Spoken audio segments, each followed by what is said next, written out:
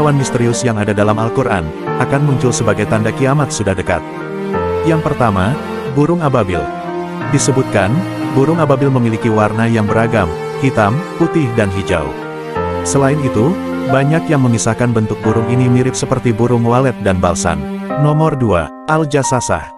Menurut tafsir dari Imam Al-Qurtubi, Al-Jasasah berarti, mata-mata, dikatakan demikian karena ia selalu mengintai kabar untuk disampaikan kepada Dajjal. Nomor 3. Dabah. Menjelang hari kiamat nanti, akan ada binatang melata aneh yang keluar dari perut bumi. Sungguh hal yang luar biasa.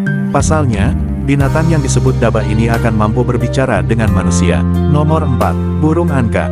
Kata Anka memiliki arti berleher panjang, yang dikisahkan memiliki ukuran yang sangat besar, bahkan bisa membawa seekor gajah dengan cakarnya.